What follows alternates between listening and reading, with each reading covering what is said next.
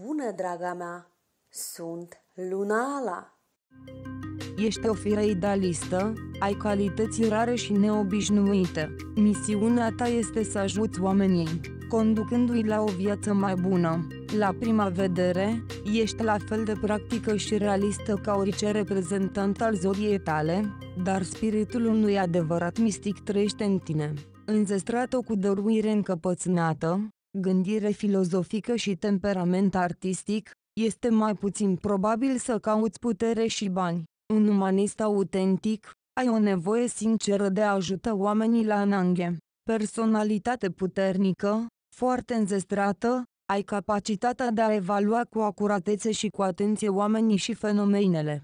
Ești adesea mândră de abordarea imparțială a vieții, dar deoarece ești construită pe principii individuale, obiectivitatea ta în acest caz este adesea discutabilă.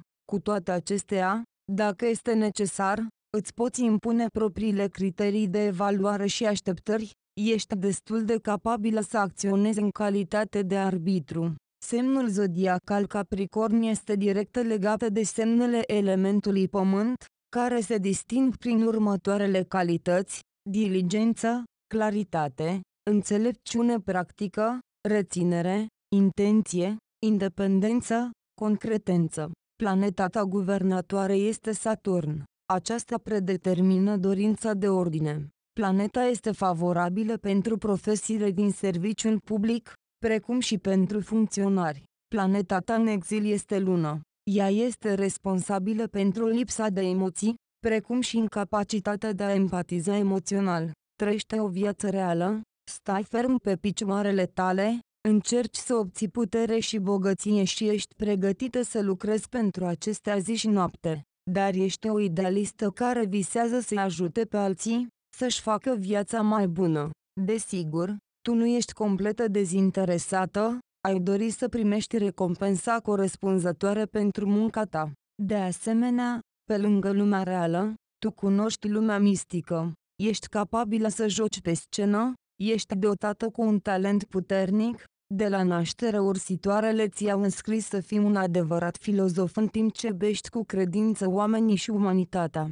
Una dintre dificultățile tale constă în faptul că ești un moralist înalt și, prin urmare, nu dispui de flexibilitate în judecățile tale. Aceste lucruri îți poate afecta în mod negativ copiii, în special pentru că tonul tău dur și dorința ta de a condamna orice acțiune a urmașilor tăi agravează sentimentul de vinovăție, încrederea în sine și privesc copiii de capacitatea de a acționa independent. Ar trebui cel puțin să-ți restrângi puțin exigența, pentru a nu fi nevoită să faci față protestului generației tinere sau, mai rău, a deschide antagonismul.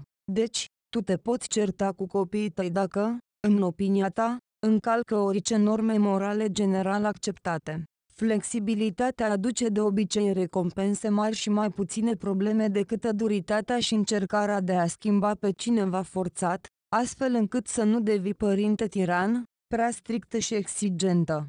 Mai multă dragoste, mai puține reguli. Te rog să reții că toți oamenii sunt diferiți și chiar și copiii tăi nu trebuie să fie ca tine în totul și să meargă pe calea ta. Probabil că vor dori să și deschidă propriul drum în viață.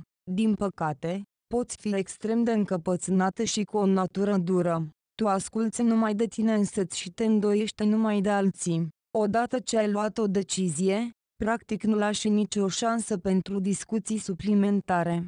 Cu toate acestea, cu aceeași încredere în sine, poți insista pe cont propriu, chiar și în acele probleme în care nu ești atât de informată sau ignorantă în general. Poți fi infuriată de cei din jurul tău, dar nu ești înclinată să te abați de la judecățile tale, mai mult, crezi cu sinceritate că judecățile tale ar trebui să fie luate drept adevărul absolut.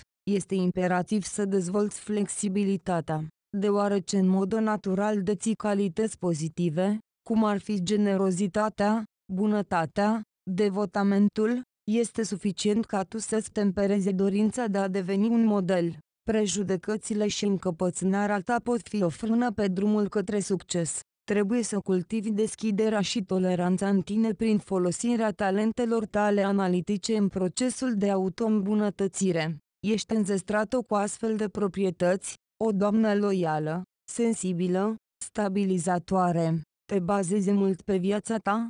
Sper că vei reuși să creezi o familie prietenoasă. Tu acționezi încet, calculându-ți fiecare pas, și mergi la obiectivul tău ferm și cu credință. Abilitățile tale analitice sunt una dintre multele talente naturale pe care le ai. Nimic secret sau tăinuită nu-ți poate fi ascuns, recunoști instantaneu și precis falsitatea interlocutorului sau adversarului. Cum afectează data de 11 ianuarie soarta ta? Personalitatea este extrem de nesigură. Suspiciunea ta depășește toate barierele juridice. O percepție dureroasă a evenimentelor din jur exacerbează fluxul calm al vieții.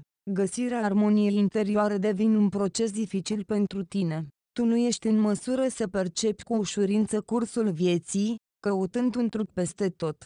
Vulnerabilitatea și sensibilitatea la experiențele negative contribuie la dezvoltarea tulburărilor psihosomatice. Toate acestea sunt o consecință a incapacității de a te îndepărta de probleme și de lipsa constantă de odihnă de calitate.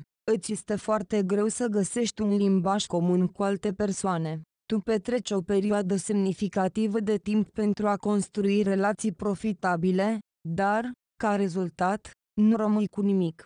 O astfel de întoarcere a evenimentelor te privează de sprijinul necesar. Pe de o parte, această situație complică în mod semnificativ modul tău de viață și, pe de altă parte, oferă o oportunitate de a dezvolta calități umane importante. Drept urmare, tu vei fi pe deplin responsabilă pentru decizia ta. Patronul tău astral te-a înzestrat cu o voință și rezistență puternică pentru a depăși dificultățile care au căzut pe calea vieții, precum și pentru punerea în aplicare a sarcinilor planificate. Perspectiva ta te ajută să înțelegi oamenii aproape fără îndoială, și fiecare lecție de viață pentru a extrage esența. Credințele tale personale se disting prin principiile lor speciale. Tu ești de neclintit în credințele tale, construiești relații complexe cu alții și reduci semnificativ viteza de adaptare la condițiile în schimbare. Într-un rol de comandant, poți folosi un stil autoritar de comunicare, nu accepti obiecții personale și alte opinii ideologice. În orice industrie aleasă, vei deveni un specialist excelent. Printre ceilalți, te distingi prin abilitățile intelectuale și prin fenomenalitatea gândirii logice. În plus, ai o perspectivă de neegalat. Abilitatea de a recunoaște instantaneu indivizii cu conștiință pătată în mediul tău, este pur și simplu uimitoare. Tu întotdeauna trasezi o linie clară între bine și rău. A te înșela sau a te rătăci este pur și simplu imposibil. Obstinitatea este principalul semn distinctiv al tău. A te abate de la planurile tale sau pur și simplu a corecta planurile, așteptând momentul potrivit, este pur și simplu inacceptabil pentru tine. Toate acestea au un efect negativ asupra drumului spre succes. Dragoste și compatibilitate dacă ai avut noroc să te naști pe 11 ianuarie ar trebui să aduci fericire peștilor, scorpionilor sau fecioarelor. Printre aceștia vei găsi acea persoană care poate fi un partener cu care ai cele mai mari șanse pentru o familie apropiată. De asemenea, îți poți încerca norocul cu Capricornul, Taurul și Vărsătorul, vă puteți privi unul pe celălalt. Este posibil ca acești oameni să te ademenească cu ceva, ceea ce înseamnă că unirea în căsătorie poate avea succes temporar. Nu este recomandat să încerci soarta cu leul, săgetătorul și berbecul, precum și cu balanța, racul sau gemenii. Cu toți aceștia nu-ți va fi ușor să trăiești sub același acoperiș, locuri de muncă și carieră. Când vine vorba de aprecierea textelor, obiectelor, metodelor și instrumentelor financiare familiare, vei străluci fără îndoială cu erudiția. În aria ta de expertiză, întotdeauna acționezi ca expert și arbitru cu experiență. Demonstrezi excelente abilități analitice și poți separa cu ușurință greul de neghină. Poți detecta falsitatea fără întârziere și poți depista o mișcare frauduloasă. În acest sens, poți fi indispensabil în probleme atât de delicate precum lupta împotriva corupției. Să te prostească careva, este cu adevărat imposibil.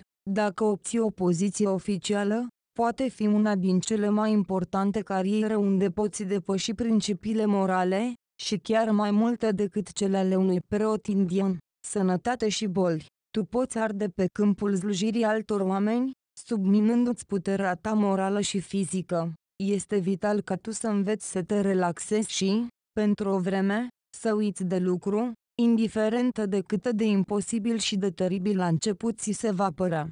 De asemenea, nu încerca întotdeauna să controlezi tot ce se întâmplă în jur. Nimeni nu este capabil de acest lucru, iar evenimentele care ies dintr-o dată de sub control pot submina foarte mult încrederea în sine și în lumea din jurul tău. Stresul asociat cu activitatea ta se poate transforma mai târziu în probleme cu sistemul muscular și oasele. În ceea ce privește dieta, merită refuzată să fie prea categorică, ci mai degrabă deschisă noilor rețete, feluri de mâncare și, în general, abordări inovatoare ale alimentației și gătitului. O dietă foarte variată se potrivește perfect. Ar trebui să faci un efort și să dedici ceva timp exercițiilor fizice. Stelele îți recomandă mai ales mersul pe jos și notul.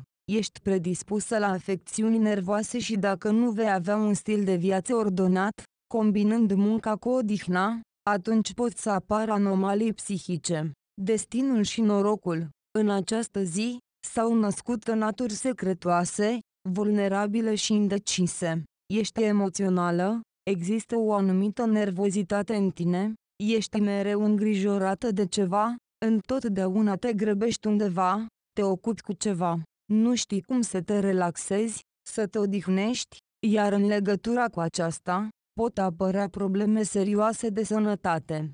Devizata par a fi, voi realiza totul în viață prin propriile mele eforturi. Ai o karmă complexă, pe care o poți trăi prin umilință și atitudine bună față de lumea din jurul tău. Sfaturi pentru tine. Menține flexibilitatea și fi deschisă la schimbare. Nu judeca oamenii fără a le oferi o șansă preliminară. Fii capabilă să recunoști propriile greșeli și să fii generoasă în laude când este necesar. Principala sarcină pentru tine este să elaborezi un plan specific pentru muncă și odihnă. În niciun caz nu poți să exagerezi, deoarece sistemul tău nervos poate înșua, ceea ce va fi foarte greu de reparat. Învață să te scuzi și să te bucuri de plăcerile obișnuite ale vieții. Încearcă să adopți mobilitatea și flexibilitatea în abordarea problemelor realizând că decizia ajustată nu înseamnă abaterea de la cea planificată îți va permite să obții un succes considerabil. Ce cadouri ți se potrivesc? Ești o fire practică. Nu-ți plac surprizele. În sinate ești un gardian al vetrei familiei. Prin urmare, este mai bine pentru tine să primești cadouri pentru casă, un set de lumânări parfumate, prosoape, halate de baie, ceasuri de perete, picturi.